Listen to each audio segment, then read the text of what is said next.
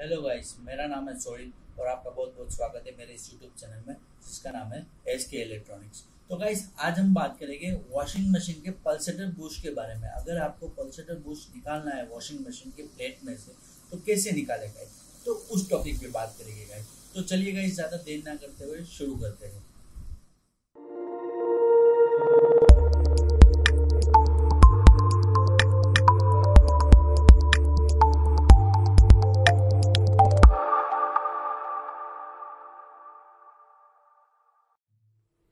Hello guys तो ये पूरा सेटअप रेडी है।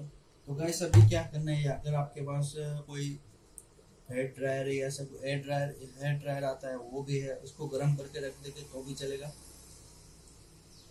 हेलो गाइस हेलो गाइस देखो गाइस ये पूरा सेटअप रेडी है। अभी क्या करना है गाइस इसको निकालना है तो किसी बहुत ही इजी है। यहाँ पे कुछ नहीं करना है देखो मेरे एक बंदे ने जलाने की कोशिश की है इसको निकालने की कोशिश की, इसको पूरा जला दिया है। लेकिन ऐसा कुछ नहीं करना है बहुत ही आसानी से निकल जाएगा। यहाँ पे कुछ नहीं करना है, यहाँ पे बस ऑयल लगा दो ऑयल है तो ऑयल लगा दो नहीं। आपको क्या करना है, एक थोड़ी और एक डिस्मिस लेना है ऐसा। एक हथौड़ी और एक डिस्मिस इसको लेकर यहाँ पे बीच में ठोकना है। यहाँ पे देखो कट्स लगे रहेंगे। फंसा के ठोकना है आपको। कपड़ा रख दीजिए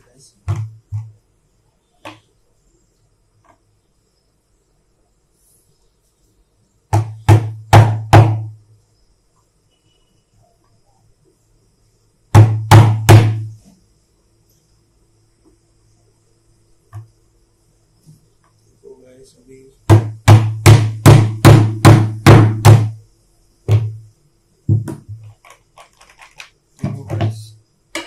ये थोड़ा निकल गया है। देखो आप देख सकते हो वैसे थोड़ा बाहर आ, चुका है। पहले से ज़्यादा बाहर आ चुका है देखो वैसे अभी यहाँ से वापस टोकना ही है हमको।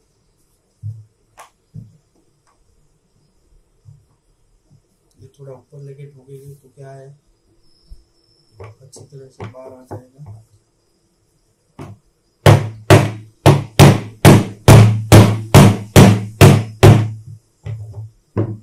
तो गाइस ये हमारा पल्सेटर बूस्ट देखो, बाहर आ चुका है। तो देखो। बस ध्यान रहेगा इस यहाँ पे कहीं ना लगे वरना डैमेज हो जाएगा ये पूरा। तो देखो गाइस हमारा पल्सेटर बूस्ट अभी आपको इसमें नया डाल देना है। और अच्छा आसानी से निकल जाए, ये इसमें चला जाएगा। आपको नया डाल देना है और वापस आपको गेयर बॉक्स में लगा देना है। तो ये था हमारा पल्सेटर बूस्ट के ऊपर वीडियो आपको गाइस कैसा लगा? लाइक करें शेयर करें और कमेंट करना मत भूलिए गाइस और सब्सक्राइब कर ले हमारे चैनल को। ओके गाइस मिलते हैं नेक्स्ट वीडियो में।